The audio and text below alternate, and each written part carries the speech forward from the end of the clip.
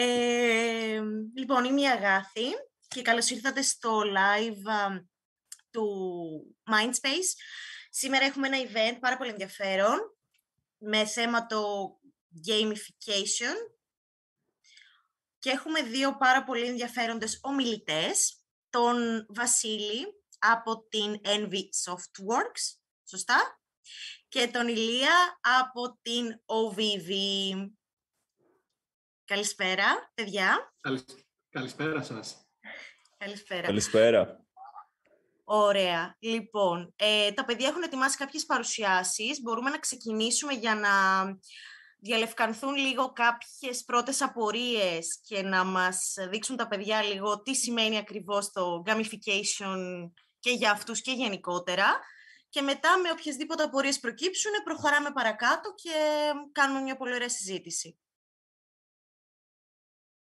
Οπότε ξεκινάει ο Βασίλης τώρα με την δική του παρουσίαση να μας δείξει κάποια πράγματα σε σχέση με τη δική του εταιρεία.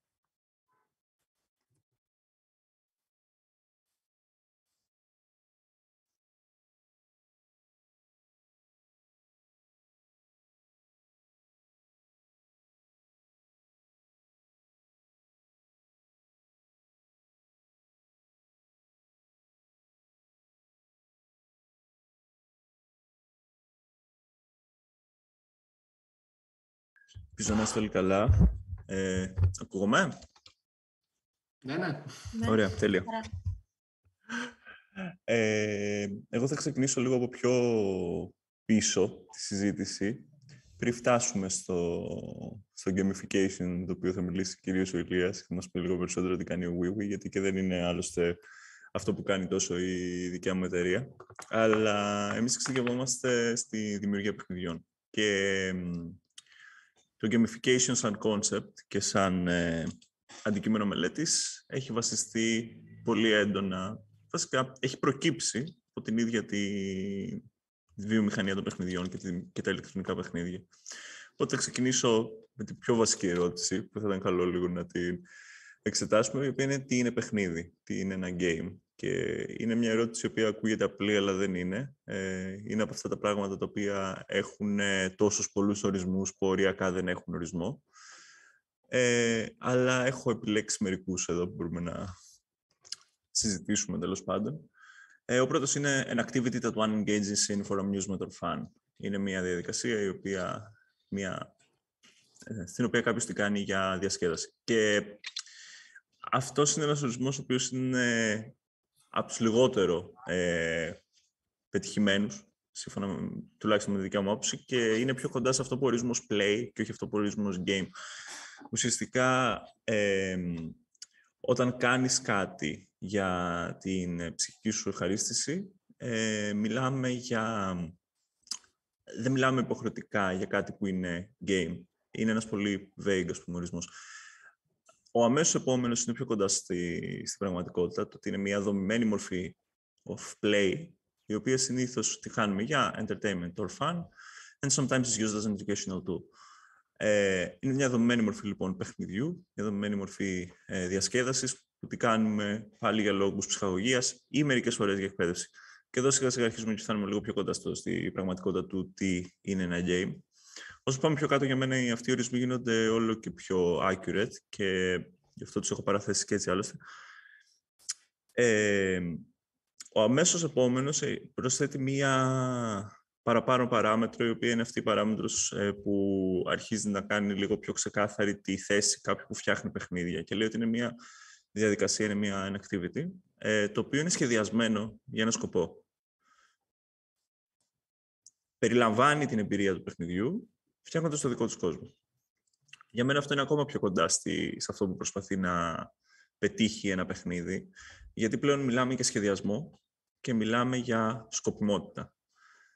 Ένα game, σε αντίθεση με, ένα, με play, με την ομή πράξη της διασκέδασης του παιχνιδιού, είναι σχεδιασμένο και προσπαθεί να πετύχει ορισμένους σκοπούς. Και ο τελευταίος ορισμός που έχω παραθέσει, που νομίζω ότι είναι ο πιο πετυχημένος με βάση τη δικιά μου τέλος πάντων εμπειρία, είναι ότι είναι μια δομημένη εμπειρία, ε, μια δομημένη εμπειρία structure experience, consisting of a goal, που περιέχει έναν στόχο, rules, κανόνες, a feedback system, έναν τρόπο ε, ουσιαστικά ενημέρωσης, ας το πούμε, αλληλεπίδρασης μεταξύ του χρήστη και του ίδιου του συστήματος, and voluntary participation, all built, all built around an interconnected system.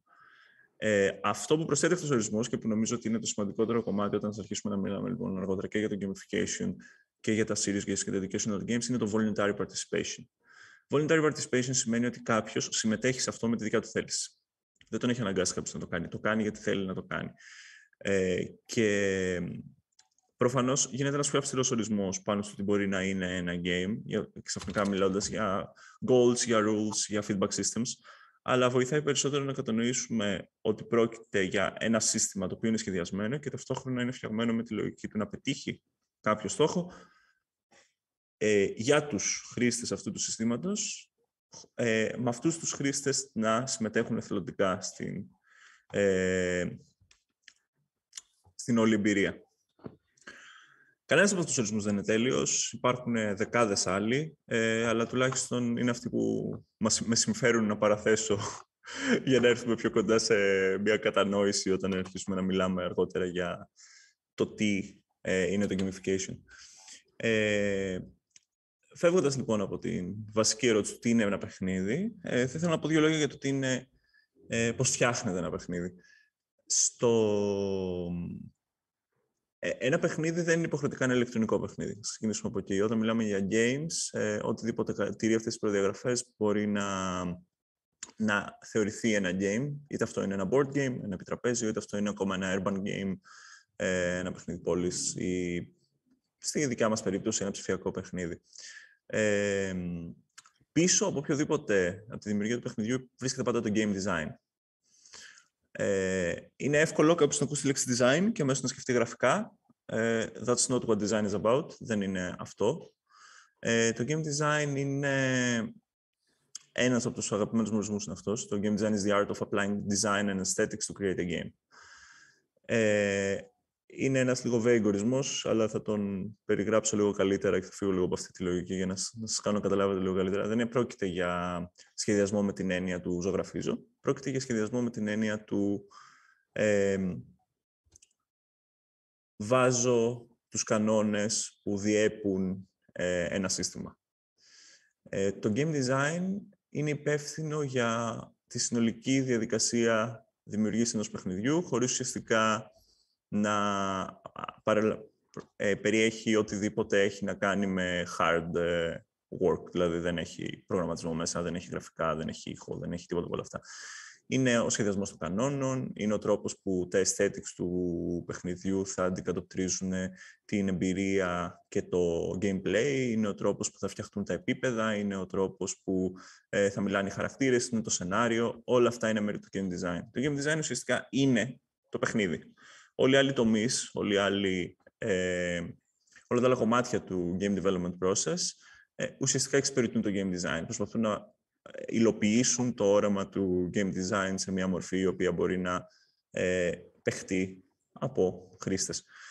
Ε, και είναι σημαντικό να καταλάβουμε λίγο καλύτερα το τι είναι το game design και να μπορέσουμε να αρχίσουμε για, όταν κάνουμε οποιαδήποτε συζήτηση πάνω σε ε, serious games και gamification, γιατί η ουσία του, ε, της μετάβασης ουσιαστικά από ένα ψυχαγωγικό παιχνίδι σε ένα εκπαιδευτικό παιχνίδι ε, είναι, πηγάζει από το game design. Οι τεχνικές οι οποίες προσπαθούμε ουσιαστικά να μεταφέρουμε έρχονται από εδώ. Και ουσιαστικά πριν κάνουμε το μεγάλο jump και φύγουμε εντελώς από την ε, μορφή, από την ιδέα του παιχνιδιού σαν ψυχαγωγία, ε, θα πάω σε μια ενδιάμεση κατάσταση και θα μιλήσω λίγο για το για το learning σαν ε, concept εντός των ε, παιχνιδιών. Και υπάρχει ένα saying που λέει ότι knowledge is in the center of play. Ε, τα παιχνίδια, κάθε παιχνίδι, κάθε ψυχαγωγικό παιχνίδι, ε, εμπεριέχει στο πυρήνα του ένα ε, ποσοστό, ένα μεγάλο μέρος γνώσης. Ε, είτε αυτό αφορά τον εσωτερικό κόσμο και την πραγματικότητα του ίδιου του παιχνιδιού, δηλαδή πώς ουσιαστικά να παίξει αυτό το παιχνίδι, είτε αυτό αφορά έξω, εξ, εμπειρίες έξω από αυτό, έξω από το ίδιο το παιχνίδι. Ένα από τα παλαιότερα ας πούμε, παραδείγματα ε, ενός παιχνιδιού που σχεδιάστηκε για, για ψυχολογικό σκοπό, αλλά ε, στην πραγματικότητα είχε το παράλληλο στόχο της, ε, ε, της δημιουργίας καλύτερων ε, στρατηγικών ε, για μάχες, ήταν το σκάκι. Το οποίο ακόμα και σήμερα παίζεται και έχει αποδειχθεί και από μελέτες ότι άνθρωποι οι οποίοι έχουν κλείσει στο σκάκι έχουν καλύτερη ακαδημαϊκή απόδοση σε, διάφορα, ε, σε διάφορους τομείς. Και σε πιο σύγχρονα παραδείγματα, όπως τα video games, τα παιχνίδια γίνονται όλο και όλο και όλο και όλο πιο περίπλοκα. Μέρα με τη μέρα. Ε, πράγμα που ακόμα και η ίδια η εμπειρία του να παίξεις ένα καινούριο παιχνίδι περιέχει ένα πολύ μεγάλο ε, knowledge base μέσα σε αυτό. Είτε αυτή είναι γνώση την οποία μπορεί να χρειάζεται να έχεις από προηγούμενη σου ε, εμπειρία με τον κόσμο των ηλεκτρονικών παιχνιδιών, αλλά πάντα είναι μια γνώση την οποία το ίδιο το παιχνίδι προσπαθεί να σου περάσει. Κατ' επέκταση, η εκπαίδευση δεν είναι τόσο μακριά από τα παιχνίδια όσο νομίζουμε. Τα παιχνίδια εξ ορισμού είναι εκπαιδευτικά εργαλεία, στα οποία προσπαθούν να μάθουν στον κόσμο τον ίδιο τους στο αυτό, τον ίδιο στον κόσμο, το ίδιο στο σύστημα. Οπότε η μετάβαση δεν είναι τόσο παράξενη όσο μπορεί να ακούγεται σε μερικούς. Και η πρώτη και ευκολότερη ας πούμε, μετάβαση που μπορούμε να κάνουμε πριν φύγουμε εντελώς από την ε, φιλοσοφία του ενός καθαρού ε, παιχνιδιού είναι τα εκπαιδευτικά παιχνίδια, τα οποία πρόκειται για παιχνίδια ε, τα οποία είναι εκεί προκειμένου να διδάξουν κάποιο αντικείμενο, χωρίς όμως να πάψουν να είναι παιχνίδια. Ψυχαγωγικά παιχνίδια τα οποία μπορούν να προσπαθούν να σου μάθουν μαθηματικά, να σου μάθουν φυσική, να σου μάθουν ε, οποιοδήποτε ας πούμε, σχολικό ή ακαδημαϊκό αντικείμενο μέσα από το παίζοντας. Ε, ένα από τα παλιότερα από αυτά είναι το Oregon Trail, ας πούμε. Η, αν ξέρετε τα ε, Where in the World is Carmen Sandiego, ε, παλιά παιχνίδια, πολύ παλιά παιχνίδια, αλλά είναι από τα πρώτα παραδείγματα, ας πούμε, educational games. Ε, και πλέον, στις μέρες μας, είναι αρκετά διαδεδομένες σε διάφορες εκπαιδευτικές πλατφόρμες online, οι οποίες έχουν σειρές από παιχνίδια για να παίζουν τα παιδιά προκειμένου να μάθουν διάφορα αντικείμενα. Λοιπόν, αυτά από μένα ε, όσο αφορά τη, την εισαγωγή στο ζήτημα. Κάπου εκεί χώνεται ας πούμε, λοιπόν, η εκπαίδευση σιγά σιγά μέσα στην ε, ιδέα των παιχνιδιών και έχω και... Εγώ είμαι από την Envy Softworks, λοιπόν, για όποιον δεν με ξέρει. Ε, είμαστε μια εταιρεία... Ναι, το βασικά δεν είπα, την πρόθεση. Ε, είμαστε μια εταιρεία στην Πάτρα, φτιάχνουμε παιχνίδια. Ε, φτιάχνουμε παιχνίδια και για ψυχαγωγία, αλλά και για άλλους σκοπούς, όπως η εκπαίδευση. Καλή ώρα.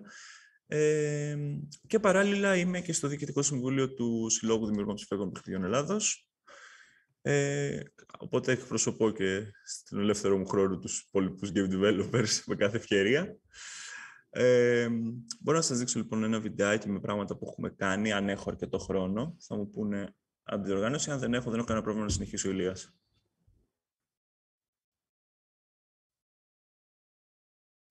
Δύο λεπτά είναι, δεν είναι πάρα πολύ μεγάλο. Είναι διάφορα προτζεκτάκια που έχουμε κάνει ανά καιρούς.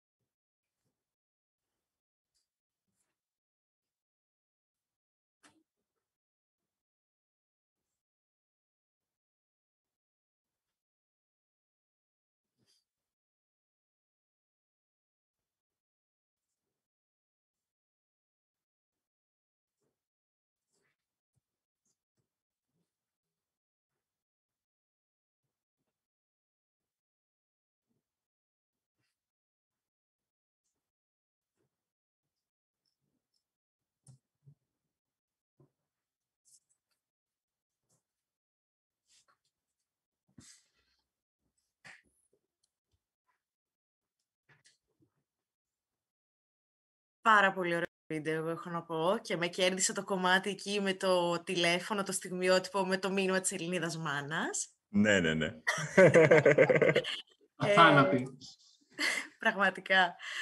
Οπότε, σε ευχαριστούμε πάρα πολύ, Βασίλη. Νομίζω ότι τέθηκαν λίγο κάποια θεμέλια για να καταλάβει να, και ο κόσμος και εμείς που δεν έχουμε καμία απολύτως σχέση με αυτό το κομμάτι. Τουλάχιστον έτσι πιστεύουμε ότι δεν έχουμε, αλλά με τόση λεπτομέρεια σίγουρα όχι. Ε, γιατί, για παράδειγμα, ε, νομίζω είχε αναφερθεί κάποια στιγμή μια εφαρμογή, τώρα δεν ξέρω αν επιτρέπεται να την αναφέρω, που μπορείς να μαθαίνεις ξένες γλώσσες επίσης. Που μας είχατε πει κι εσείς, που όλοι πάνω κάτω κάποια στιγμή την έχουμε χρησιμοποιήσει. Έχουμε χρησιμοποιήσει παρόμοιες χωρίς να το έχουμε καταλάβει ότι πρόκειται για gamification.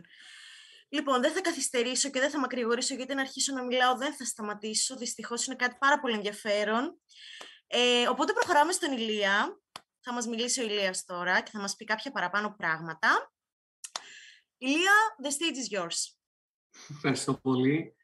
Ε, νομίζω ότι βασικά είναι φανταστική πάσα και αυτό που είπες εσύ Αγάπη και Βασίλη, ότι στην ουσία πολλές φορές μπορεί να, να έχουμε κάποια επαφή με το gamification και να μην το γνωρίζουμε. Και θέλω να πάω και εγώ ένα βήμα πιο πίσω, επειδή ο Βασίλης πιο πριν μας εξήγησε το τι είναι ένα παιχνίδι. Εγώ θα ήθελα όμως να μοιραστώ και μαζί σας κάτι άλλο που ίσως ενδεχομένως να βοηθήσει να βάλουμε λίγο σε ένα πλαίσιο αυτό τον χώρο και αυτή τη δραστηριότητα γενικά. Ε, όταν, λέμε την, όταν χρησιμοποιούμε τη λέξη gamer, αυτό που νομίζω ότι περισσότεροι σκεφτόμαστε και φανταζόμαστε είναι το, τον αδελφό μας, το αγόρι μας, τον σύζυγό μας, δεν ξέρω τώρα το, το marital status όλων εδώ, αλλά νομίζω ότι φανταζόμαστε το, το, το στερεότυπο, το, το κλασικό του καμένου gamer που κάθεται μπροστά από μια κονσόλα ή από ένα PC και λιώνει επί ώρες να παίζει Call of Duty ή οτιδήποτε άλλο. Ε, αλλά το αστείο σε αυτό είναι ότι άμα ψάξετε τον ορισμό της λέξης gamer, σίγουρα υπάρχει και αυτός ο ορισμός, ο καμένος δεν το λέει έτσι προφανώς, αλλά κάποιος ο οποίος κάνει, αφιώνει πάρα πολύ χρόνο στο να παίξει ένα παιχνίδι, αλλά gamer μπορεί να θεωρηθεί και κάποιος ο οποίος ε, αφιερώνει ένα μεγάλο κομμάτι του χρόνου του να πετύχει έναν στόχο. Και σε αυτό το πλαίσιο είμαστε όλοι gamers. Είτε το ξέρουμε, είτε δεν το ξέρουμε. Είτε έχουμε επαφή απευθείας με τα παιχνίδια, είτε όχι. Επίσης, για να σας βοηθήσω έτσι να, να καταρρύψουμε λίγο το στίγμα που υπάρχει γύρω από το gaming και τους gamer γενικά, ε, ο μέσος όρος ηλικίας για έναν gamer θα πιστεύατε ότι είναι κάτι, κάποια μικρή ηλικία. Μπορεί να είναι 16, 18, 21. Ε, σας πληροφορώ ότι είναι 34 ετών. Ε, οπότε δείχνει ότι το gaming δεν είναι κάτι το οποίο είναι μόνο για την νεολαία, επειδή υπάρχουν πάρα πολύ πιο μεγάλοι ηλικιωμένοι, οι οποίοι παίζουν και αυτοί τα παιχνίδια που μπορεί να παίζουμε και εμείς τώρα, ή ενδεχομένως να έχουν παίξει και πολλά από τα παιχνίδια Βασίλη που ανέφερες εσύ, που ε, ειδικά με το Oregon Trails ε, έπαιρθα ένα PTSD flashback, επειδή ήταν ε, ε, φρικιαστική εμπειρία, και το Carmen, Where in the World is Carmen San Diego. Ε, είναι ένα παράδειγμα. Επίσης, το 60% των gamers παγκοσμίως είναι γυναίκες. Το θέμα όμως είναι ότι πάρα πολλούς από αυτές τις gamers γενικά, άμα τους ρωτήσεις είσαι gamer, επειδή έχουν το στερεότυπο αυτού του καμένου που περιέγραψα πιο νωρίς, δεν πιστεύουν το, ότι τα mobile games που παίζουν, το Candy Crush, το Farmville στο Facebook, ότι αυτά το Bubble Gem Saga, δεν ξέρω τι μπορεί να υπάρχει εκεί έξω, ε, δεν το θεωρούν παιχνίδι. Σου λέει ότι εντάξει, είναι απλά στο κινητό. Δεν είναι παιχνίδι Modern Warfare, Call of Duty που παίζει ο αδερφό μου ή το αγόρι μου. Οπότε ένα πολύ μεγάλο κομμάτι του πληθυσμού παγκοσμίως είναι οι γυναίκες. Ε, και αυτό πάντα μου φαινόταν έτσι πολύ ενδιαφέρον σαν ε, στατίστικη, επειδή νομίζω ότι υπάρχει τόσο αρνητικό στίγμα, ή τουλάχιστον όσο μεγάλωνα εγώ και πήγαινα στο πανεπιστήμιο και μου λέγανε οι καθηγητές μου, Ηλία, ε, φτιάξε το cover letter σου για το πανεπιστήμιο, ήταν αδερφή μου και μου έλεγε πες για το πόσο πολύ παίζεις games και τι έχεις μάθει από αυτό. Και λέω, εσύ με τα καλά σου δεν θα με δεχτούν πουθενά. Αλλά πλέον βλέπουμε ότι άμα εγώ συνέχιζα αυτή, την αυτή την πορεία πιο μικρός, θα μπορούσα να κάνω και streaming και Twitch live streaming, δεν ξέρω τι, και να βγάζω και λεφτά κιόλας από αυτό. Οπότε έχει αλλάξει πάρα πολύ ο χώρος του gaming. Και μαζί με αυτό έχει έρθει και πολύ μεγάλη εξέλιξη σε αυτό που λέμε gamification, για το οποίο θα χαρώ πολύ να το συζητήσουμε και να σας το διευκρινίσουμε λίγο παραπάνω. Ε, λοιπόν, ε, βασικά ήταν ένα τεράστιο side track αυτό και ζητώ συγγνώμη.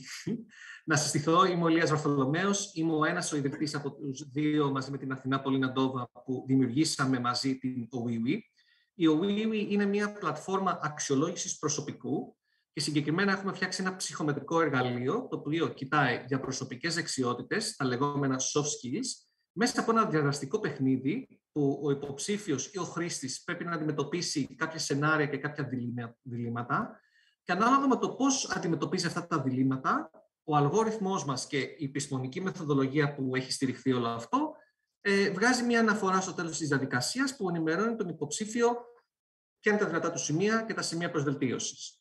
Εμείς αυτό το παρέχουμε στα τμήματα ανθρώπινου δυναμικού για να κάνουν αξιολόγηση σε, είτε στο φυστάμενο προσωπικό, είτε για άτομα που κάνουν αίτηση για μια θέση εργασίας, με σκοπό να τους βοηθήσουμε να εντοπίσουμε τα καλύτερα ταλέντα, αλλά και παράλληλα να βοηθήσουμε να εμπλουτίσουμε και να καλυτερέψουμε λίγο τη διαδικασία για τον υποψήφιο.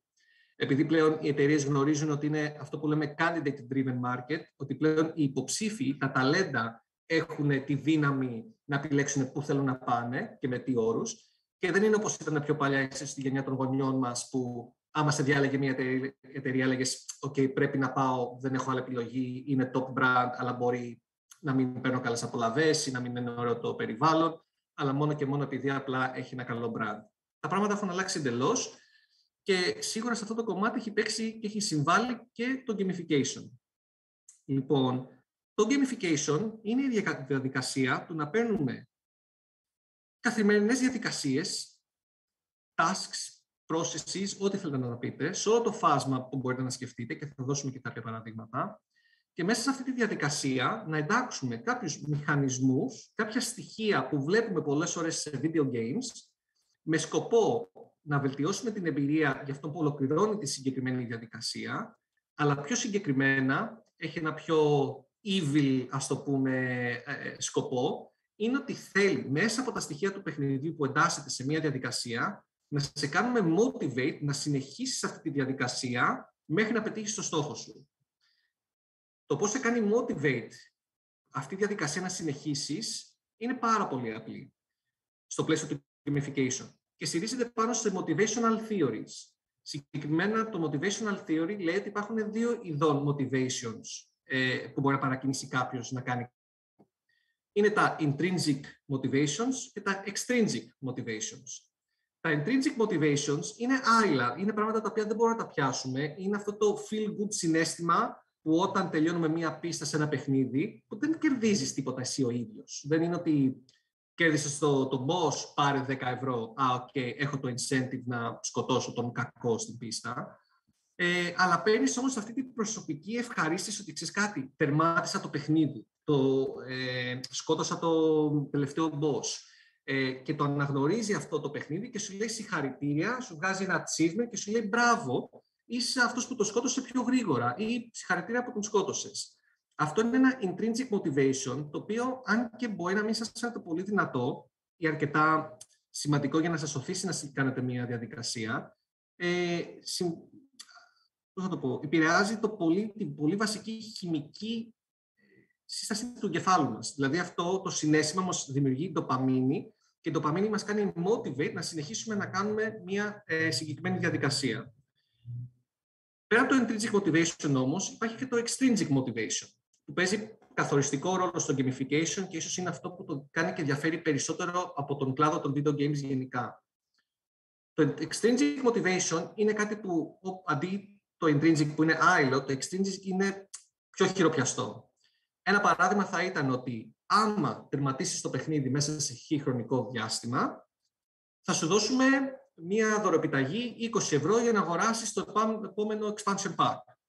Δηλαδή, είναι κάτι που συνήθως και πολλές φορές έχει κάποια χρηματική αξία από πίσω, ε, που μπορεί να είναι σε μορφή discount ή όντως χρήματα upfront καθαρά. Ε, και ουσιαστικά το gamification αξιοποιεί αυτά τα δύο motivational theories για να μπορεί να σε κάνει motivate να ολοκληρώσεις ένα συγκεκριμένο process. Τώρα, γιατί είναι σημαντικά αυτά, επειδή αυτό που σας περιέγραψα τώρα είναι όλος, όλη η ουσία του gamification. το πώς αξιοποιείς και συνδυάζεις τα intrinsic motivations με τα extrinsic motivations. Επειδή όταν κάποιος συνεχίζει και κάνει μια διαδικασία, που μπορεί να την κάνει και πολλαπλές φορές, το να του βγαίνει ένα achievement ή να λέει ότι ξέρεις κάτι, έφτασα level 100, ok, so what όμως, έκανα άλλες 99 πιο πριν, δεν κέρδισα κάτι και μετά από το 15ο level δεν έπαιρνα την ίδια ευχαρίστηση και χαρά που έπαιρνα όπως έκανα τα πρώτα 5 levels. Λοιπόν, εκεί μπαίνει το extrinsic motivation και το gamification και προσπαθεί να βρει το σύστημα όπου σε ποιο σημείο θα σου δώσω intrinsic motivation να συνεχίσεις, που αυτό στο gamification θα μπορούσε να είναι ακόμα και αυτό που λέμε μια, ένα badge, μια κονκάρδα, ψηφιακή φυσικά, ε, ή ένα achievement ή πόντους, ότι «Α, OK, okay, ολοκλήρωσε την πίστα, πάρε 10 πόντους, επειδή τα πήγες πολύ καλά». Όμως αυτό θα σε κάνει motivate μέχρι ένα συγκεκριμένο σημείο. Γι' αυτό το gamification αξιοποιεί και τα extrinsic motivations, παρέχοντας άλλα incentives, όπου εκεί που το intrinsic motivation πλέον δεν σε καλύπτει, το extrinsic ενδεχομένως ίσως να σε ωθήσει να ολοκληρώσεις τη διαδικασία. Έχοντας αυτό το, αυτή την εξίσωση κατά νου, μπορούμε να πάμε τώρα αυτό να το εφαρμόσουμε σε πάρα πολλά πράγματα, πέρα από το πιο obvious κομμάτι που είναι το gaming. Παραδείγματος χάρη, το Dropbox φαντάζομαι ότι το γνωρίζετε περισσότερο. Λοιπόν, το Dropbox, αν και μπορεί να μην σας φαίνεται, αξιοποιεί gamification. Πώς το κάνει αυτό, σου λέει. Όταν εσύ μπεις και κάνεις την εγγραφή σου, σου λέει συγχαρητήρια. Κέρδισες, όχι κέρδισες, σου παρέχουμε ένα gigabyte ε, χωρητικότητας δώρο. Έχεις την επιλογή τώρα, άμα θέλεις παραπάνω χώρο, να πας να αγοράσεις κάποιο πακέτο συνδρομής και να πληρώσεις κάποια χρήματα το μήνα. Αλλιώς μπορείς να κάνεις engage με αυτό που έχουν φτιάξει αυτοί που λέγεται referral program. Και σου λέει, άμα εσύ για κάθε άτομο που προσκαλείς στην πλατφόρμα μας και κάνεις refer το Dropbox σε αυτόν, θα δώσουμε και σε σένα και στον φίλο σου έξτρα επιπλέον δώρο, χώρο, χωρητικότητα. Αυτό είναι ένα πολύ καλό παράδειγμα του gamification. Εδώ πέρα να επισημάνω ότι το gamification δεν σημαίνει ότι μια διαδικασία που αξιοποιεί τεχνικές gamification πρέπει να φαίνεται σαν παιχνίδι. Είναι οι μηχανισμοί που χρησιμοποιούμε, που έχουμε πάρει από τα παιχνίδια. Το πώς το παρουσιάζουμε όμως είναι μια άλλη ξεχωριστή συζήτηση. Οπότε το ότι κάποιο process, ε, κάποια υπηρεσία φαίνεται παιχνιδοποιημένη δεν σημαίνει και απαραίτητα ότι αξιοποιεί τις τεχνικές που περιγράφουμε. Όπως ανέφερα, το gamification βασίζεται στα motivational theories, intrinsic και extrinsic, extrinsic και μετά ε, τα συμπληρώνει αυτά και σε κρατάει engaged μέσα από όλα πράγματα όπως ανέφερα τις κονκάρδες, τα achievements, τους πόντους, ε, το community, δηλαδή το, η αίσθηση του ανταγωνισμού. Ε, π.χ. μπορεί σε κάποιο παιχνίδι που έχετε παίξει και βγάζετε κάποιο σκορ, να υπάρχει κάποιο λεγόμενο leaderboard, που είναι μια κατάταξη. Ποιος είναι ο top παγκοσμίως ή ποιος είναι top στον κύκλο φίλων σου που παίζετε μαζί. Άμα αυτό ήταν το Words with Friends, παραδείγματος χάρη, που είναι σαν το Scrabble, ε, θα βλέπατε ότι εγώ είμαι στο top 3 worldwide. Που πολλές φορές αυτό από μόνο του, η αίσθηση του ανταγωνισμού, είναι από μόνο του ένα πολύ δυνατό motivational ε, factor που μπορεί να σε οθήσει να συνεχίζεις να κάνεις κάτι που από ένα σημείο και μετά ενδεχομένω να μην σου δίνει και την ίδια ευχαρίστηση. Οπότε το gamification αυτό προσπαθεί, αξιοποιώντας ψυχολογικές τεχνικές και αξιοποιώντας στοιχεία από παιχνίδια, να οθεί τους χρήστες του να ολοκληρώσουν και να πετύχουν μία συμπεριφορά, να ολοκληρώσουν μία διαδικασία, παραδείγματος χάρη, ε, προς όφελος της εταιρείας που το αξιοποιεί. Όπως η Dropbox που είχε το referral program με το δώρο χωρητικότητας. Ή, στο παράδειγμα που ξεκίνησες να λες, ε, αγαθή που είναι το Duolingo, που είναι μια εφαρμογή που μπορείς να μάθεις καινούργιες γλώσσες και αυτοί, αυτό που έχουν κάνει είναι ότι έχουν πάρει όλη την μαθητική ύλη που θα μάθαινε σε ένα φροντιστήριο, το έχουν τεμαχίσει σε πολύ πολύ μικρά κομμάτια για να είναι και πιο εύκολα διαχειρίσιμο, επειδή είναι διαφορετικό να σου λέω έχουμε 100 βήματα του ενός λεπτού το ένα, αντί να σου πω είναι 100 λεπτά που πρέπει να τα κάνεις ε, σε μία σειρά. Και το, και το Duolingo λοιπόν έχει πάρει τη διαδικασία του να μάθεις μια καινούργια γλώσσα και εξοποιώντας gamification, το αίσθημα του ανταγωνισμού, τα points, τα leaderboards, τα awards που παίρνεις όταν πετυχαίνεις κάποια άσκηση σωστά, σε οθεί να συνεχίσεις να μαθαίνεις εκεί που ενδεχομένως μια παραδοσιακή τάξη να μην σε κάλυτε ή να έχανες το ενδιαφέρον σου. Και είναι ένα από τα πιο πετυχημένα παραδείγματα gamification, μπορώ να πω. Ε, οπότε αυτός ο μηχανισμός είναι κάτι το οποίο πιο παλιά ήταν πώς να το πω, πολύ hot topic, ενώ ότι υπήρχαν πάρα πολλές εταιρείες που προσπάθησαν να το εντάξουν σαν διαδικασία. Το βλέπουμε πολύ συχνά σε κλάδους όπως το retail, ε, π.χ. ακόμα και παραδείγματος χάρη άμα πάτε σε κάποιο, στην καφετέρια της γειτονιάς σας και σας πούν ότι στον πέμπτο καφέ που θα πάρεις σου δίνουμε ένα μάφι, αλλά στους 10 καφέδες θα σου δώσουμε και ένα παγούρι που μπορείς να παίρνεις μαζί σου και να παίρνεις δωρεάν refill. Ακόμα και αυτό είναι ένα είδους gamification, επειδή σε οθεί, αντί να λες ότι ξέρεις κάτι, θα πάω στο άλλο, έχω αυτό το coffee shop το οποίο είναι δίπλα μου, που προσφέρει αυτό το προνόμιο, είναι καλός ο καφές του, αλλά εμένα μου αρέσει ένας που είναι, ξέρω εγώ, πέντε τετράγωνα πιο κάτω, αλλά με βγάζει εντελώς από τον δρόμο μου. Οπότε, με το, μέσα από το loyalty card, εσύ μπορείς να πεις ότι ξέρεις κάτι, θα συνεχίσω να πηγαίνω σε αυτόν, επειδή είναι και κοντά και με εξυπηρετεί, αλλά επειδή και αυτό το loyalty program, όπου σε κάθε πέντε καφέδες, που για μένα είναι κάθε δύο μέρες, θα παίρνω και ένα δωρεάν muffin και στο τέλος θα πάρω και ένα πολύ ωραίο παγούρι που είναι το reward που εγώ συνέχισα να επισκέπτομαι το συγκεκριμένο κατάστημα. Ε, οπότε είναι κάτι το οποίο το έχουμε δει να εφαρμόζεται σε πάρα πολλούς κλάδους, σε πολλά διαφορετικά είδων υπηρεσίες και προϊόντα. Ε, το πόσο αποτελεσματικό είναι κρίνεται σε πολύ μεγάλο βαθμό από το πρώτον τι θέλεις να πετύχεις μέσα από αυτή τη ε, διαδικασία, μέσα από αυτή την εφαρμογή. Και δεύτερον, πόσο καλά ξέρεις το κοινό σου για να τους δίνεις τα incentives και τα motivations που θέλουν για να συνεχίσουν να χρησιμοποιούν την υπηρεσία σου ή το προϊόν σου. Τα πήρα λίγο μονότερμα, ζητώ συγγνώμη. Ε, οπότε, αλλά σε, αυτό το πλαίσιο δεν ξέρω αν θέλω να κάνουμε κάποιο Q&A ή να σας δείξω κάποια παραπάνω παραδείγματα, με πολύ χαρά. Απλά ήθελα έτσι να κάνω μια ε, πιο concise περιγραφή λίγο της διαδικασίας και της συγκεκριμένου μηχανισμού που συζητάμε. Ε, νομίζω ότι έχουμε χρόνο να προχωρήσουμε στην παρουσίαση που έχεις. Θα ήθελα μόνο επίσης να προσθέσω...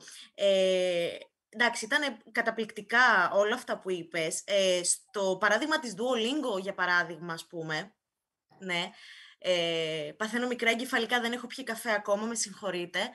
Ε, ακόμα δεν τα... καφέ καθόλου σήμερα, είναι 7 η ώρα, θα κοιμάσαι. Ε, το ξέρω, αλλά ήμουν βραδινή, οπότε κάποιο πρόγραμμα έχει έρθει τούμπα.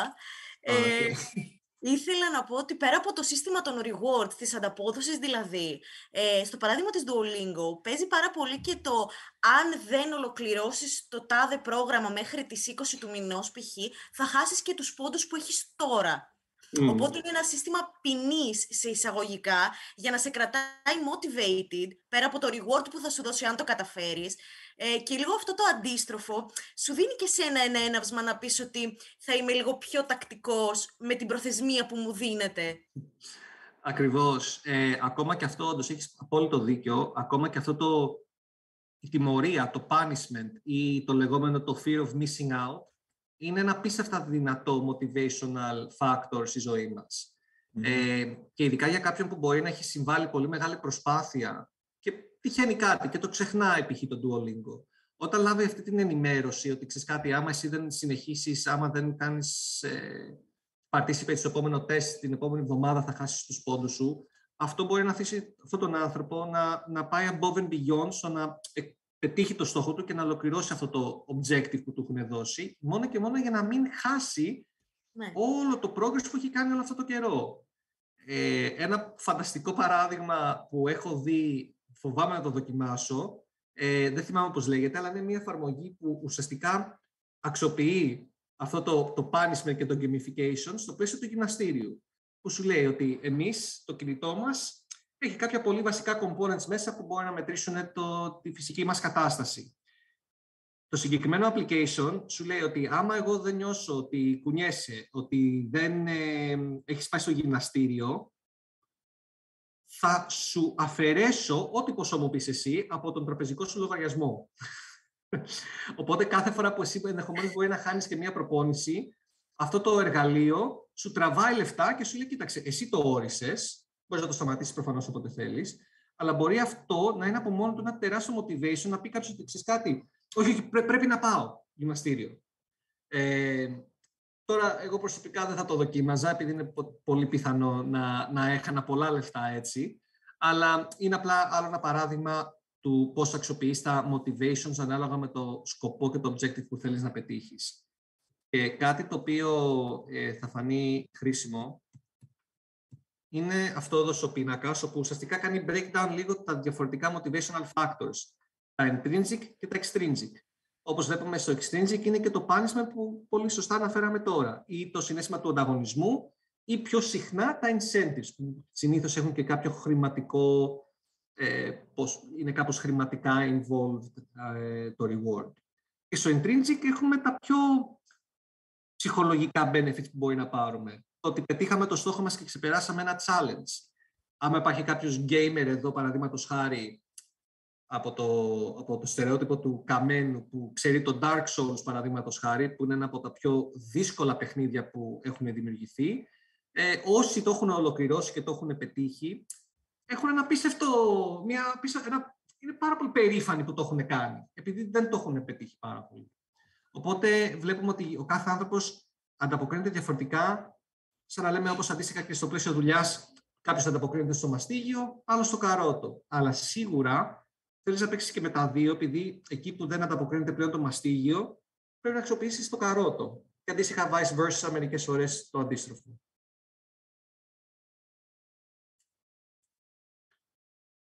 Ε, Άλλο ένα, πράγμα, το, άλλο ένα παράδειγμα πολύ γνωστό ε, του gamification είναι το Fitbit, όπου το Fitbit είναι μια εφαρμογή, ε, είναι, fitness, είναι fitness application.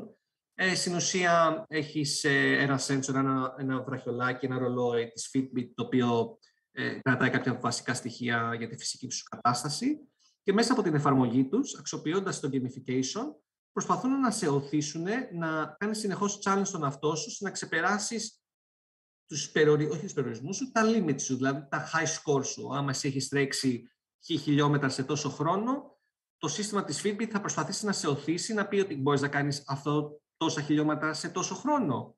Και άμα το κάνεις, θα σου δώσουμε και κάποια προνόμια, κάποια benefits, κάποια badges, θα ανέβεις στο leaderboard μας πιο ψηλά ε, ή ενδεχομένως άμα πετύχεις πάρα πολλούς στόχους, μπορεί κιόλας να σου δώσουμε και κάποιο reward σε μορφή discount σε κάποιο κατάστημα για καινούργια αθλητικά παπούτσια, παράδειγμα του χάρη. Ε, οπότε μπορούμε να δούμε ότι ειδικά στο fitness είναι πολύ συχνά να το βλέπουμε. Ε, ένα application με το οποίο έχω σίγουρα εμπειρία ήταν το Zombies Run, το οποίο στην ουσία τι έκανες, έβαζες τα ακουστικά σου, ε, μπορούσες να βάλεις τη μουσική να παίζει ό,τι θέλεις εσύ και από πίσω έπαιζε μια εφαρμογή η οποία ε, σε, προσπαθούσε να σε οθήσει να, να, τρέξεις, να τρέξεις για αρχή, να είσαι πιο physically active, αλλά και να συνεχώς να κάνεις push τον αυτό σου, να ξεπερνάς τα όρια σου. Και πώς το έκαναν, είχαν δημιουργήσει μια ιστορία, ότι και καλά έχει έρθει το τέλος του κόσμου, ε, είμαστε περικυκλωμένοι από zombies και έπαιζε από πίσω ταινία, σαν να σου μίλαγα μέσω walkie-talkie και να σου λέει ότι «Όχι, Ηλία, να σου πω, είμαστε στο πύργο ελέγχου και σε βλέπουμε και από πίσω σου τώρα είναι 100.000 zombies και σε φτάνουν. Τρέξε, τρέξε γρήγορα. Ξέρω εγώ, 30 δευτερόλεπτα μέχρι να φτάσεις στην πύλη που θα είσαι ασφαλής. Όπου μετά σου λέτε, τώρα μπορείς να χαλαρώσεις κτλ.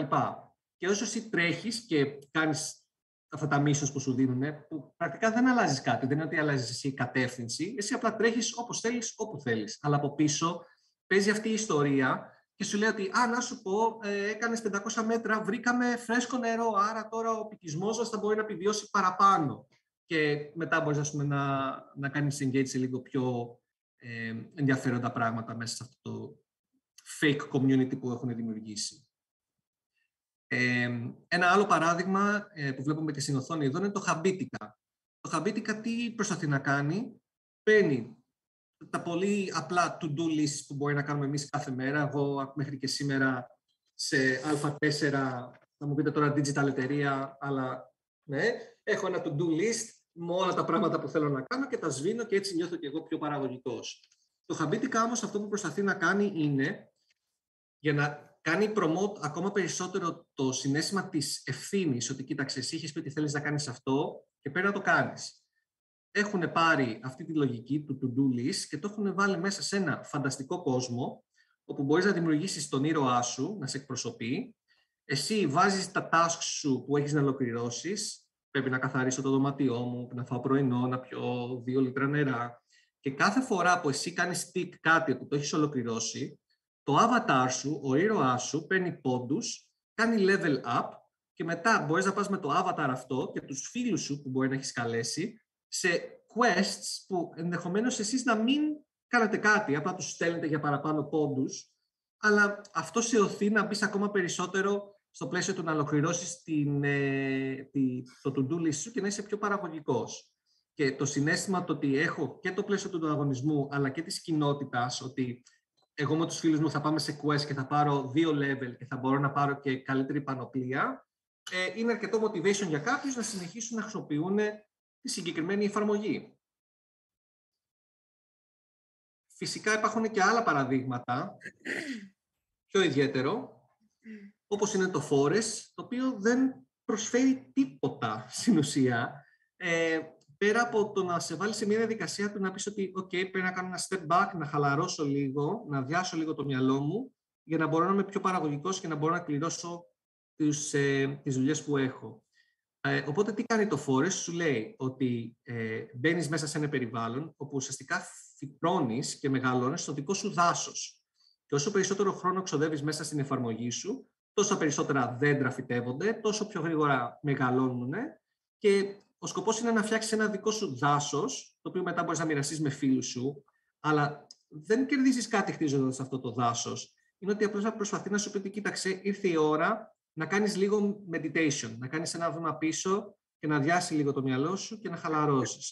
Οπότε αυτό μπορεί να σε οθήσει να μπεις στη διαδικασία και να είσαι πιο accountable προς το meditation σου, παραδείγματος χάρη. Οπότε υπάρχουν πολλά παραδείγματα εδώ του gamification, κάποια που είναι πολύ παραγωγικά, αλλά λιγότερο παραγωγικά. Οπότε αυτό έτσι σαν μια πρώτη, ε, σαν κάποια παραδείγματα του gamification. Πάντως, ε, στο παράδειγμα που ανέφερες με τα ζόμπι, το πιο πιθανό είναι εγώ να έμενα εκεί να με φάνε από το να τρέξω πιο γρήγορα. Οπότε, ίσως θα έχανα σε αυτό το παιχνίδι. Εγώ προτιμώ να είμαι ζόμπι και να μην τρέχω καθόλου. Βασικά κάτι τέτοιο είμαι τώρα. Ωραία. Ε, οκ. Ε, ναι, γενικά έχουμε πολύ τέτοιες εφαρμογές στο κινητό μας ε, και χρησιμοποιούμε και είναι πολλοί άνθρωποι από παλιότερες γενιές που σου λένε πω πω είσαι όλη την ώρα με το κινητό και ε, βάστο στην άκρη για να ηρεμήσεις, αλλά πρακτικά υπάρχουν εφαρμογές μέσα σε αυτό που να σε βοηθάνε να ηρεμήσεις, ναι. που ε, αποκτά τελείως διαφορετικό ρόλο πέρα από το απλά στη διευκόλυνση της επικοινωνίας.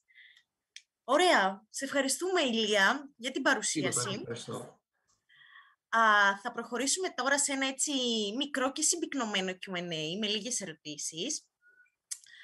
Ε, λοιπόν, οπότε εγώ ξεκινάω. Ε, είναι μια ερώτηση που απευθύνεται και στους δυο σας. Μπορεί να ξεκινήσει ο Βασίλης και μετά ο Ηλίας φυσικά να πάρει το λόγο. Α, μετά από μια μικρή έρευνα που κάναμε, εντοπίσαμε στο ίντερνετ όρους αντί του, του gamification, με συγχωρείτε, όπως για παράδειγμα το incentive-centered design, το social gaming ή το engagement program. Δεν ξέρω κατά πόσο αντιστοιχούν ε, είναι επάξι του όρου gamification, αλλά ήθελα λίγο να σας ρωτήσω αν ε, συμφωνείτε με τους όρους αυτούς εν μέρη ή αν δεν συμφωνείτε για ποιον λόγο και αν φυσικά πρέπει να επιλέξετε κάποια στιγμή κάποιον από αυτούς τους όρους, θα επιλέγατε ή θα προτείνατε εσείς κάτι άλλο; Ε, Λοιπόν, θα πω ότι σίγουρα δεν συμφωνώ με το social gaming καθόλου. Είναι άλλο πράγμα στο μυαλό μου. Τώρα για τα, για τα άλλα δύο, το incentive ε, center design, το πες; Ναι, ναι. Είναι πολύ κοντά στο πώς είναι οι περισσότερες εφαρμογές που έχουν να κάνουν με gamification αυτή τη στιγμή ε, είναι incentive-centered ή όπως είδαμε intrinsic και extrinsic ας πούμε, incentives, είτε αυτά είναι θετικά είτε αυτά είναι αρνητικά. Ε, Παρ' όλα αυτά είναι νομίζω πιο narrow-minded από, την, από τον όρο gamification στο καθ' αυτό, γιατί μιλώντας για gamification μιλάμε την παιχνιοποίηση ουσιαστικά κάποιου πράγματος, κάνοντας κάτι που δεν είναι παιχνίδι, παιχνίδι. Ε, ναι, μεν, ε, το focus μέχρι στιγμής έχει υπάρξει γύρω στη, στα μοντέλα επιβράβευσης και τιμωρίας, ας πούμε. Ε, αλλά δεν είναι το μόνο πράγμα που μπορούμε να πάρουμε από το game design ε, για να το εφαρμόσουμε σε άλλους τομείς του, του, της πραγματικότητας, τέλος πάντων, και να το κάνουμε πιο engaging. Οπότε δεν θα, δεν θα το χρησιμοποιούσα. Ε, και ποιο ήταν ο τρίτος, η τρίτη ορολογία; Ε, engagement program. Εντάξει. Το engagement είναι ο στόχος.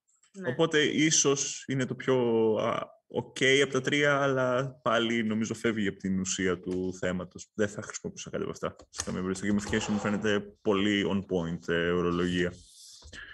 Και ας έχει φορεθεί πολύ το τελευταίο καιρό. Ηλία. Ε, ναι, όχι. Και βασικά, βασικά συγγνώμη, δεν ξέρω αν διακόπτω. Όχι, όχι. Σένα Α. θέλω να μάθω. Τι έχεις να πεις. Ε, είναι, είναι σίγουρα relevant λέξεις, αλλά νομίζω ότι όντως δεν απεικονίζουν όλο το φάσμα του gamification, σο, σο, ότι δεν αντιπροσωπεύουν το gamification σε όλο το φάσμα του.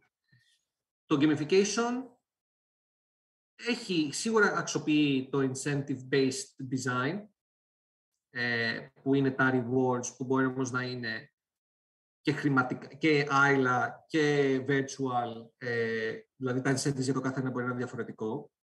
Ε, οπότε σίγουρα το incentive-based design είναι ένα πολύ μεγάλο κομμάτι του gamification, είναι ένας βασικός πυλώνας και άξονας, για να είναι και successful οποιαδήποτε τέτοια εφαρμογή.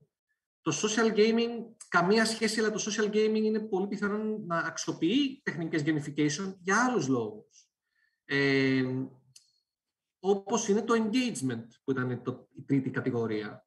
Ε, πώς το κάνει αυτό, μπορεί το social gaming πάλι να σου λέει ότι ε, εγώ κάλεσε τους φίλους σου, για κάθε φίλο που θα καλέσεις, ε, οι φίλοι σου θα πάρουν κάτι, θα πάρεις όμως και εσύ κάτι πολύ παραπάνω, κάτι πολύ πιο σημαντικό, ε, in-game currency, για παράδειγμα, ας πούμε, gold coins που μπορείς μετά να αγοράσεις ειδικής κατηγορίας προϊόντα μέσα σε αυτό το παιχνίδι. Ε, οπότε, είναι κάτι το οποίο, το, για να το κάνω ένα recap, το social gaming αξιοποιεί gamification techniques σίγουρα για να αυξήσουν το engagement, που άμα θες να αυξήσεις το engagement σε οποιοδήποτε πλαίσιο, πολλές φορές το gamification είναι ένας πολύ καλός και αποτελεσματικός τρόπος να το κάνεις. Και για να το κάνεις να είναι successful σαν engagement tool, πρέπει να κάνεις incorporate το incentive-based design μέσα στο gamification για να έχει αντίκτυπο. Οκ. Ναι. Ε, χωρίς να γνωρίζω κι εγώ πάρα πολλά από τα λίγα που είδα, νομίζω ότι και εμένα δεν θα με κάλυπτε απόλυτα κανένας, γιατί όλοι έχουν λίγο από κάτι το οποίο δεν συνδυάζεται ε, συνολικά.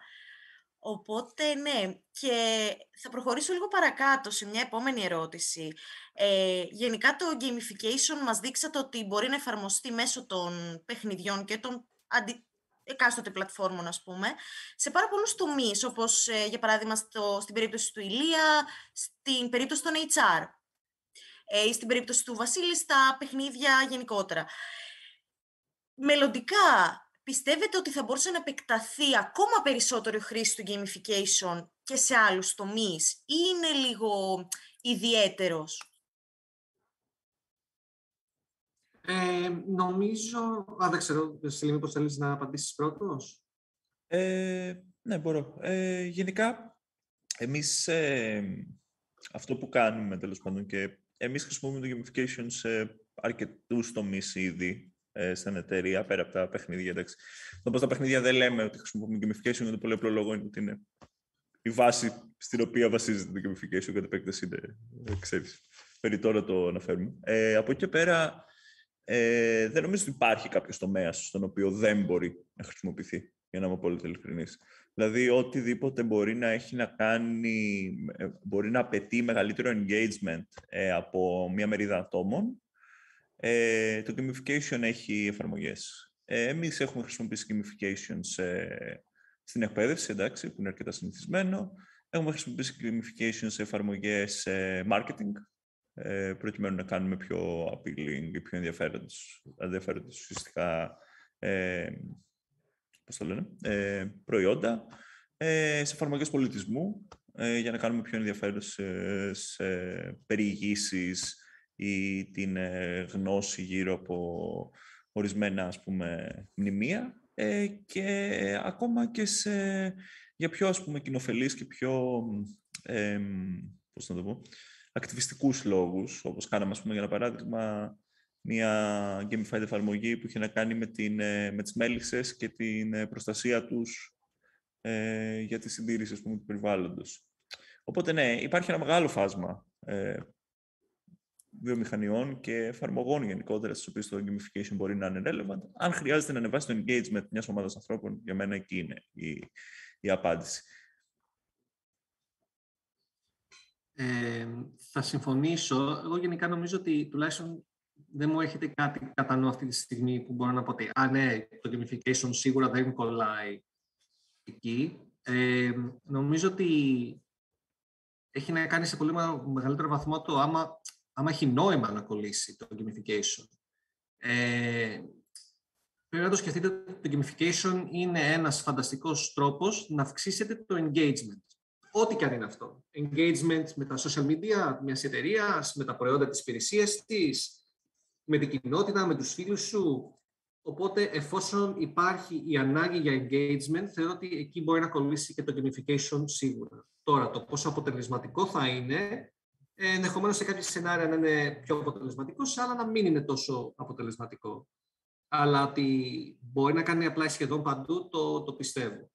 Και φυσικά μετά εντάξει, υπάρχουν κάποιες ειδικές κατηγορίες που όμως αυτό ισχύει όπως και να έχει, που μετά μπορεί να γίνει και κάποιο ζήτημα ηθικής. Δηλαδή τώρα, ας πούμε, σε, π.χ. στο, στο gambling κλάδο, ο PAP, στοίχημα, σίγουρα αξιοποιούν ας πούμε, το, κάποιο είδους gamification, αλλά είμαι σίγουρος ότι είναι και περιορισμένοι κατά κάποιο τρόπο στο τι μπορούν να κάνουν, επειδή ο τζόγος είναι θυστικός.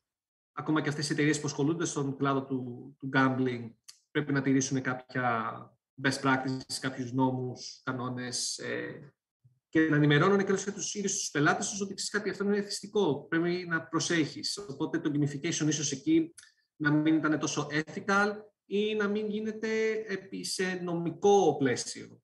Αλλά θεωρώ ότι είναι unlimited το potential του. OK, okay, ναι. Ε, τέλεια. Νομίζω ότι από τη στιγμή που μιλάμε για τεχνολογία και έχει πολύ μεγάλες διαστάσεις η τεχνολογία γενικότερα, μπορεί να εφαρμοστεί ε, σε πολλούς τομείς και αποτελεσματικά αρκεί να υπάρχει αυτό που είπατε, ο λόγος να χρησιμοποιηθεί. Λοιπόν, τώρα θα προχωρήσουμε σε μία λίγο πιο επιχειρηματικού τύπου ερώτηση για όσους μας παρακολουθούν και ενδεχομένως ενδιαφέρονται να απασχοληθούν με αυτόν τον τομέα. Ε, Πώς θα συμβουλεύατε εσείς νέους ανθρώπους οι οποίοι σκέφτονται να ξεκινήσουν ε, μία δική τους επιχείρηση που να αφορά το gamification; Ε, δεν θα πω συγκεκριμένα ε, όσον αφορά την εταιρεία που είναι ο Ηλίας ή του Βασίλη. Αυτό μπορείτε στο μυαλό σας να το τοποθετήσετε εσείς όπου θέλετε. Ε, τι θα συμβουλεύετε λοιπόν ένα νέο παιδί το οποίο θέλει να κάνει κάποια βήματα για να φτιάξει μια τέτοια εταιρεία; Ποια θα ήταν τα σημαντικά βήματα που θα πρέπει να κάνει στην αρχή; Εγώ αυτό που πιστεύω είναι ότι καταρχάς να κάνεις μια εταιρεία που κάνει gamification λίγο παράξενο εν γέννη, δηλαδή δεν είμαι σίγουρος τι θα μπορούσε ακριβώς να σημαίνει. Μπορείς να έχεις ένα προϊόν το οποίο ναι. χρησιμοποιεί πολύ δυνατά το gamification, όπως καλή ώρα ο Ηλίας, ας πούμε, ε, ή μπορείς να κάνεις consulting πάνω στο πώς να εφαρμοστεί το gamification σε άλλες εφαρμογές, όπως καλή ώρα κάνω εγώ. Ε, αν παρόλα αυτά θες να ασχοληθείς με το χώρο και είναι το gamification κάτι το οποίο σε ενδιαφέρει, για μένα η ερώτηση δεν είναι πώς να μπεις στο gamification, αλλά πώς να μπεις στο game design. Δηλαδή, το πρώτο βήμα στο δικό μου μυαλό, και δεν είναι υποχρεωτικό ότι ισχύει για όλους. Δεν ξέρω. Ε, ο Ηλίας νομίζω θα είναι πιο κατάλληλος να απαντήσει σε αυτή την ερώτηση. Αλλά όταν έχεις ε, καλή αντίληψη του game design και της ε, μεθοδολογίας, το οποίο το game design είναι ένας ε, σιγά σιγά επιστημονικά τεκμηριωμένος κλάδος. Υπάρχουν προγράμματα σπουδών γύρω από το game design στο εξωτερικό, στη Δανία, στη Μάλτα. Ε, υπάρχουν ολόκληρα πανεπιστήμια πλέον τα οποία ασχολούνται με αυτό. Υπάρχουν βιβλία, υπάρχουν papers, υπάρχει βιβλιογραφία, ε, υπάρχουν βίντεο, υπάρχουν τα πάντα. Το game design είναι κάτι το οποίο μπορείς να σπουδάσεις, το οποίο μπορείς να διδαχθείς. Ε, και είναι η ουσία, η βάση, η θεωρία πίσω από ό,τι έχει να κάνει, ό,τι είναι και το gamification. Είναι πολύ παραπάνω από ό,τι το gamification, αλλά αν δεν έχεις μια καλή κατανόηση αρκετών αρχών του game design, μπορεί και το gamification να φύγει, να είναι ένα get out of your head, ας πούμε, να, να, να, να μην μπορέσεις να το κάνεις master. So, game design, ε, εμένα είναι η άποψη. Και ένα καλό starting point για το game design, αν κάποιος ενδιαφέρεται, είναι ένα βιβλίο του Jesse Sell, το Book of Lenses. The Art of Game Design, αν κάνω λάθος, σε Book of Lenses. Πολύ καλό βιβλίο. Ηλία. Ε, θα, θα συμφωνήσω 100%. Βασικά, όντως δεν, δεν υπάρχει κάτι. Βασικά, νομίζω μόνο ένα παράδειγμα μπορώ να σκεφτώ. Δεν μπορείς να πεις ότι ξεκινάω μια επιχείρηση που κάνει game design, εκτός άμα κάνεις consulting game design σε άλλους πελάτες, ή φτιάχνεις μια πλατφόρμα ή κάποια λύση όπου επιτρέπεις σε άλλους πελάτες μέσα από την πλατφόρμα αυτή να δημιουργήσεις gamification διαδικασίες ανάλογα με τις ανάγκες τους. Σαν να λέμε WordPress για το website σου, αλλά αντίστοιχα να φτιάξεις ένα gamification με έτοιμα assets και ιδέες και pro templates που μπορεί να σου δίνει αυτή η πλατφόρμα. Υπάρχουν τέτοιες ε, λύσεις εκεί έξω, αλλά γενικά η άποψή μου είναι ότι δεν έχω δει να πηγαίνει και εξαιρετικά καλά, επειδή το gamification πρέπει να έχεις μια πολύ καλή εσωτερική γνώση του τι θέλεις να κάνεις και φυσικά να καταλαβαίνεις και τα στοιχεία, τα game elements και το game design που ανέφερε ο Βασίλης. Νομίζω ότι υπάρχουν δύο approaches στο συγκεκριμένο θέμα.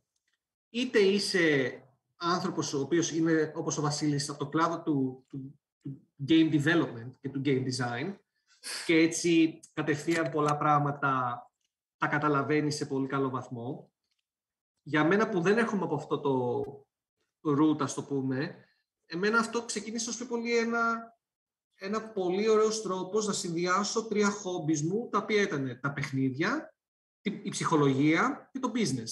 Επειδή πρακτικά αυτό κάνει το gamification. Χρησιμοποιεί ψυχολογικές τεχνικές από τα παιχνίδια για να πετύχει έναν στόχο, το οποίο συνήθως είναι και business oriented. Ε, οπότε νομίζω ότι για κάποιον που θέλει να μάθει περισσότερα για game design, ε, σίγουρα το να, για το gamification, συγγνώμη, σίγουρα δεν είναι ότι πρέπει να μάθεις game development, δεν πρέπει να μάθεις να φτιάχνεις παιχνίδια τεχνικά, αλλά πρέπει να μπορείς να ξέρεις να τα σχεδιάζεις, έστω σε κάποιο... να καταλάβεις λίγο τα στοιχεία που συμβάλλουν στο να φτιάξεις ένα τέτοιο παιχνίδι.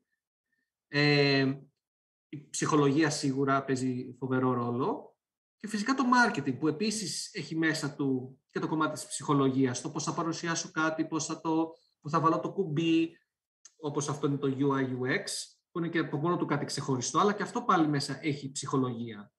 Ε, για να καταλάβετε το πόσο σημαντικό είναι, ότι πλέον υπάρχει, υπάρχουν ολόκληρα ε, μεταπτυχιακά σε consumer neuromarketing, δηλαδή πώς σε neuromarketing επίπεδο ε, παίρνουμε αποφάσεις ανάλογα με το marketing input που παίρνουμε. Οπότε, άμα έχετε ξεκινήσετε μάλλον να διαβάζετε και λίγο παραπάνω για αυτά τα πράγματα, ε, σίγουρα θα είναι πολύ πιο εύκολο να μπείτε στο χώρο. Και σίγουρα να κρατήσετε in mind ότι το gamification είναι a means to an end. It's not the end.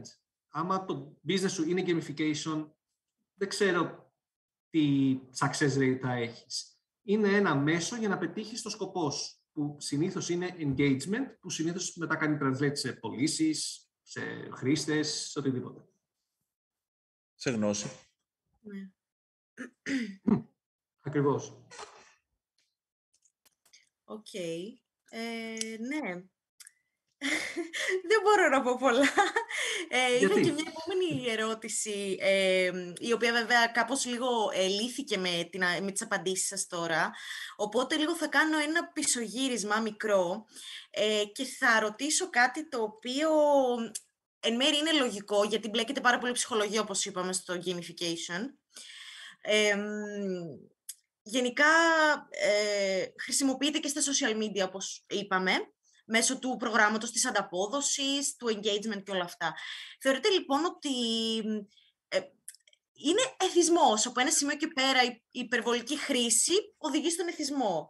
Ε, οπότε θεωρείτε πως γενικότερα το του gamification μπορούν να ξεφύγουν τελείως από τον έλεγχο του χρήστη και από την ασφαλή χρήση του ε, και να οδηγήσουν σε ένα αρνητικό αντίκτυπο στον ίδιο; Δηλαδή, στα social media υπάρχει το engagement, υπάρχει και, το, και η υπερβολική χρήση. Αυτό θέλω να πω. Ναι. Σε μένα, η άποψή μου πάνω σε αυτό είναι ότι σπάνια ε, ο εθισμός προέρχεται από ένα μέσο. Συνήθως πρόκειται για πολύ πιο πολυδιάστατο πρόβλημα ε, ανεξάρτητα γιατί είδους εθισμό μιλάμε, είτε αυτός είναι σε ουσίες, είτε αυτός είναι σε στη τεχνολογία. Παρ' όλα αυτά, δυστυχώς, ε, το gamification, κάποιοι χρησιμοποιούν gamification για να είμαστε πιο δικαίοι, ε, προσπαθούν να κάνουν co της ψυχολογίας σε ένα επίπεδο στο οποίο όντως να δημιουργήσουν επίτηδες στατιστικά ε, προϊόντα. Το οποίο εντάξει, στο δικό μου μυαλό είναι ανήθικο, ανήθικο, συγγνώμη, ανήθικα, αλλά ανήθικο. Ε, είναι ανήθικο και εντάξει, okay. ε, τώρα από εκεί και πέρα, ε, όπως είπε και ο Ηλίας πριν, και ο Τζόγος το κάνει και το κάνει και σε ένα σημείο στο οποίο προσπαθούν να κάνουν co και την ορολογία gaming πλέον. Προσπαθούν να λένε gaming τον Τζόγο θα το δείτε πολύ συχνά να το κάνουν, το οποίο μένα προσωπικά με πονάει στη ψυχή μου, φαίνεται πάρα πολύ άδικο. Ε, γιατί προσπαθούν να κάνουν legitimize μέσω ενός, μιας ολόκληρης άλλης βιομηχανίας κάτι το οποίο είναι πάρα πολύ highly regulated και όποια, οποιοδήποτε παραλληλισμός μεταξύ ε, τζόγου και εθισμού και του gaming και του gamification είναι πολύ επιφανειακός τέλος πάντων και εν γέννη άδικος. Αλλά ναι, ε, προφανώς δεν είναι το εργαλείο το πρόβλημα, αλλά ποιος το χρησιμοποιεί και είτε αυτό είναι ο developer ή ο επιχειρηματίας ο οποίος θα αποφασίσει να χρησιμοποιήσει predatory gamification tactics για να βγάλει κέρδος ή να φέρει την, ε, ε, κάποιον στόχο σε, σε επιτυχία, είτε αυτός είναι στο τέλος μέρες και ο χρήστης, ο οποίος είναι πιο επιρρεπής ε, στον εθισμό, για οποιοδήποτε ψυχολογικό ζήτημα που έχει αυτός να αντιμετωπίσει. Σε καμία περίπτωση το gamification από μόνο του ή τα παιχνίδια κατά επέκταση από μόνα τους δεν μπορούν να κατηγορηθούν, παιδί μου, για αυτό το πράγμα. Ε, η αλήθεια είναι ότι δεν έχει προκύψει τουλάχιστον από να το έχουμε ακούσει κάποιο πολύ κακό παράδειγμα του gamification που κατέληξε σε πολύ αρνητικό αποτέλεσμα.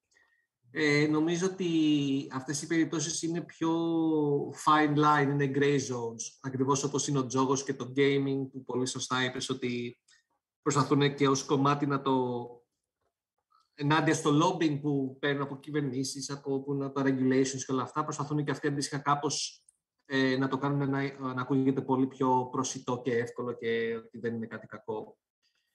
Ε, το μόνο παράδειγμα που ενδεχομένως μπορεί να μην είναι και καν τόσο πολύ relevant, αλλά επειδή έχω διαβάσει και έχω ακούσει κάποιες φρικιαστικές ε, ε testimonials από υπάλληλους, είναι ενδεχομένως ίσως η Amazon. Η Amazon, η εταιρεία που γνωρίζουμε, ε, γενικά δεν φημίζεται ως καλός εργοδότης, τουλάχιστον όποιος δουλεύει στα, στα, στα packaging centers όπου έχουν όλα τα προϊόντα και τα πακετάρουν για τους πελάτες τους, όπου είναι τόσο αυστηρό το περιβάλλον που έχουν προσπαθήσει να το κάνουν σαν παιχνίδι. Ότι και καλά, άμα εγώ πακετάρω και φτιάχνω τις κούτες μου, καταρχάς όλα τα κάνουν monitor από το πόσο χρόνο με πήρε να πάω από το ένα σημείο του γραφείου στο άλλο. Που ακόμα και άμα θέλω να πάω τουαλέτα, πρέπει να ζητήσω άδεια από, το, από ένα σύστημα που φοράνε στο ρολόι τους. Και μετά, μάλιστα, το ρολόι τους δείχνει τι μονοπάτι να ακολουθήσουν για να πάνε πιο γρήγορα στη τουαλέτα ε, και άμα τα κάνεις όλα καλά, ε, σου δίνουν και κάποιο μικρό οικονομικό μπόνους, νομίζω. Αυτό είναι ένα πολύ κακό παράδειγμα, επειδή δεν είναι ότι παίρνω διαδικασίες του τύπου ότι πρέπει να κάνεις data entry, OK, okay, ναι, ξενέρωτο, αλλά ξέρεις κάτι, άμα το κάνεις καλά και γρήγορα, θα πάρεις, δεν θα το κάνεις εσύ την επόμενη φορά, θα το κάνει κάποιος άλλος, λέμε τώρα. Είναι ότι παίρνουν βασικά human behavior, το να πας τουαλέτα, και να σε χρονομετράνε και να σου λέει ότι ξέρεις κάτι, έχεις. Εμείς εικάζουμε ότι χρειάζεσαι μόνο τρία λεπτά. Οπότε, άμα εσύ πάρεις πάνω από τρία λεπτά στη τουαλέτα και μετράμε και το χρόνο που σε πήρε να πας, ε, θα σε τιμωρήσουμε. Και άμα σε τιμωρήσουμε, θα χάσεις κομμάτι του μισθού σου. Οπότε, αυτό νομίζω ότι είναι ένα κακό παράδειγμα, αλλά είναι, είναι ένα στα δισεκατομμύρια cases, νομίζω. Mm-hmm. Συνήθως το gamification θέλω να πιστεύω είναι force for good και όχι όπως το έχει αξιοποιήσει η Amazon. OK, okay, ναι. Ε, ακούγεται πάρα πολύ savage το συγκεκριμένο παράδειγμα και ναι. τουλάχιστον είναι ευχάριστο που δεν συμβαίνει συχνά, τουλάχιστον δεν γνωρίζουμε να συμβαίνει συχνά. Ε, αλλά ναι, αυτό δηλαδή δεν, δεν, έχω, δεν έχουν υπάρξει καλά παραδείγματα που έχει απο, δημιουργήσει αρνητικό αποτέλεσμα, με την έννοια ότι αρνητικό αποτέλεσμα μόνο με την έννοια ότι μπορεί απλά να μην ήταν τόσο αποτελεσματικός να πετύχει το behavior που θέλει. Που σημαίνει ότι δεν έγινε σωστή σχεδίαση, που σημαίνει ότι πρέπει να ξαναπάμε στο drawing board και να, να καταλάβουμε λίγο τα incentives μας, το κοινό μας, τι τους ωθεί κτλ. OK. Okay. Ε, οπότε θα κλείσουμε κάπου εδώ, ε, μετά από όλες αυτές τις υπέροχες πληροφορίες. Ε, και θα ήθελα να σας ρωτήσω λίγο τι μελλοντικά σχέδια έχετε, τι achievements έτσι θέλετε, είτε βραχυπρόθεσμα είτε μακροπρόθεσμα να καταρθώσετε και πώς προχωράτε γενικά από εδώ και πέρα; Ηλία, θες να ξεκινήσεις; Α, τώρα το πασάρει σε μένα. no pressure. ε, okay, ναι. Um, πώς θα το πω. Εγώ βασικά, σαν εταιρεία, εμείς αυτό που προσπαθούμε να κάνουμε είναι ότι Μάλλον το όραμά μας είναι αυτό που είχε πει ο Πλάτωνας μία φορά, ότι μπορείς να μάθεις πολλά περισσότερα για έναν άνθρωπο παίζοντας μαζί του για μία ώρα παρά συζητώντας μαζί του για έναν ολόκληρο χρόνο. Εμείς αυτό θέλουμε να το φέρουμε ακόμα περισσότερο ε, στην κουλτούρα των εταιριών, στο αυτό που λένε πάρα πολύ το learn through play, ε, το να μπορείς να μάθεις τον άλλον μέσα από το παιχνίδι.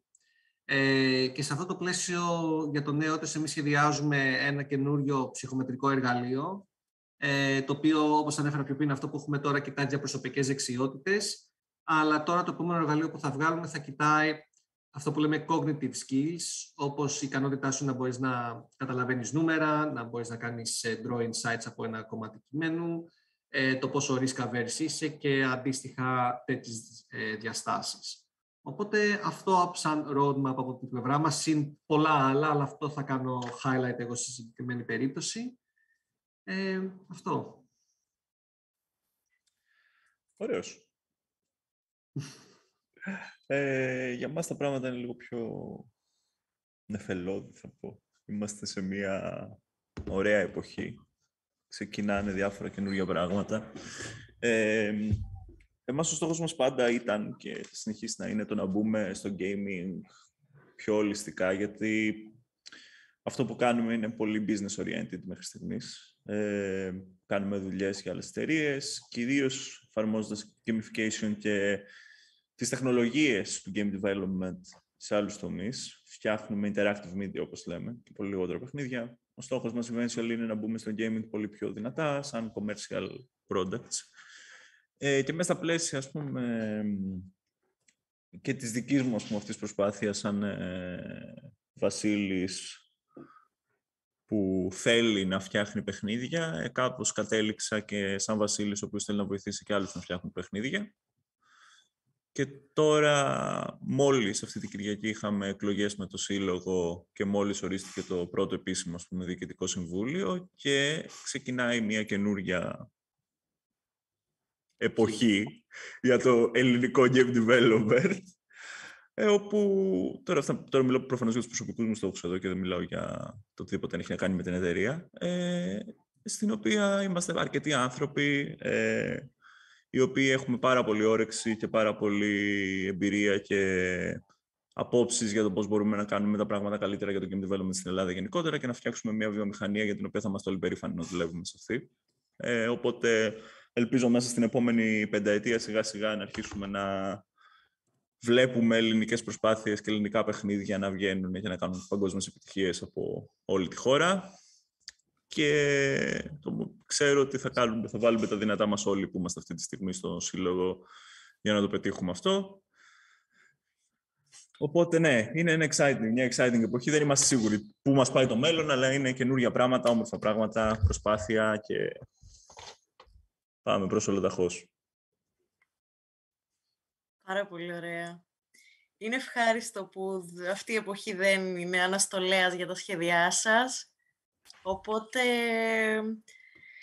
ε, εγώ απλά θέλω να αναφέρω, σε, κλείνοντας αυτή την υπέροχη παρουσίαση που είχαμε σήμερα, το πόσο μαγικό είναι ότι κάποιος πήρε αυτή την ενασχόληση το να παίζεις παιχνίδια για αρχή, την παρατήρησε και εκμεύσε όλα τα ψυχολογικά στοιχεία που κρύβει το engagement, αυτή την ευχαρίστηση που νιώθεις, την τοπαμίνη που είπε ο Ηλίας και όλα αυτά τα μετέφερε σε ένα ψυχολογικό πλαίσιο, τα μετέφρασε και δημιουργήθηκε όλος αυτός ο τομέας.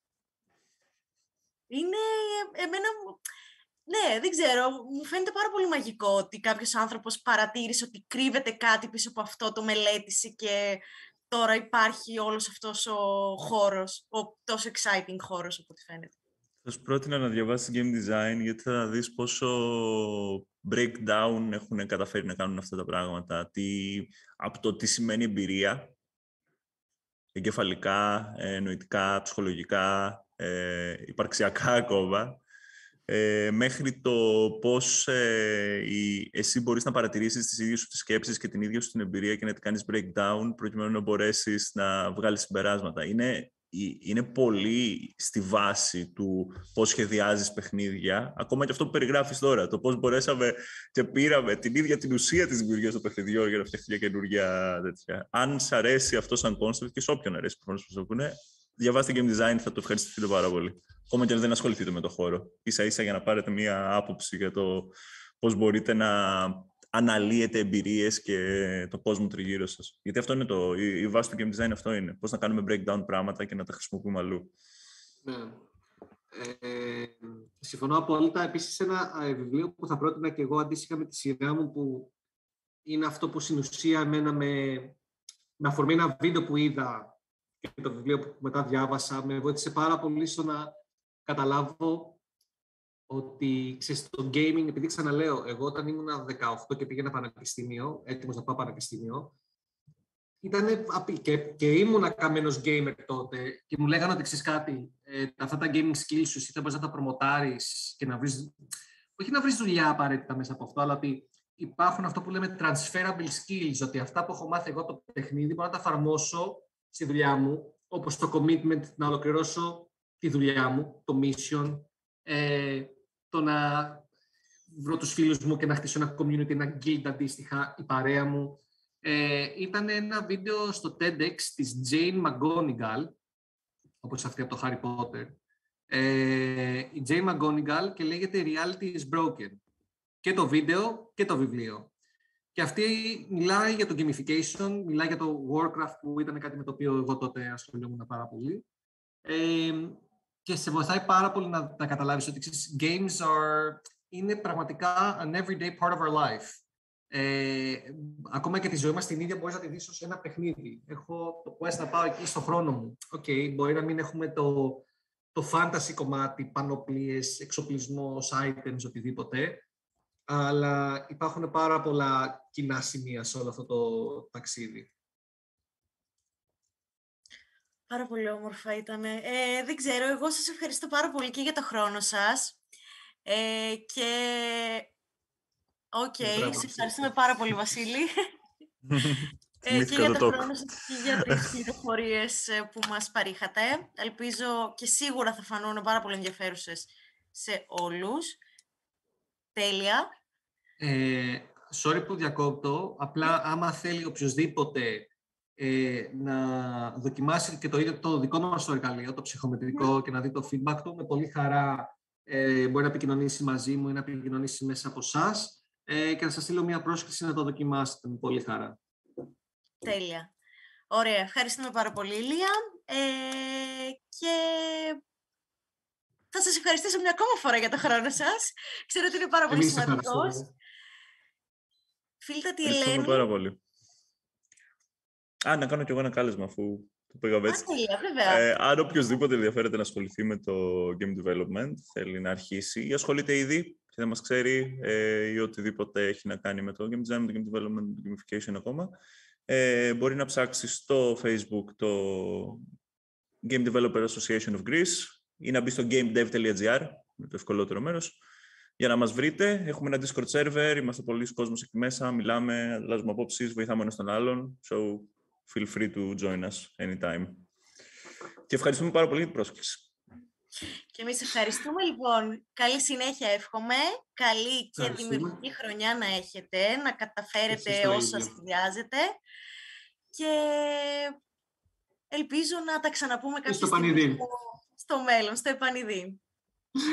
Καλή συνέχεια. Ευχαριστούμε πολύ και πάλι. Καλή συνέχεια σε όλους και άμα δεν μιλήσουμε, καλές γιορτές.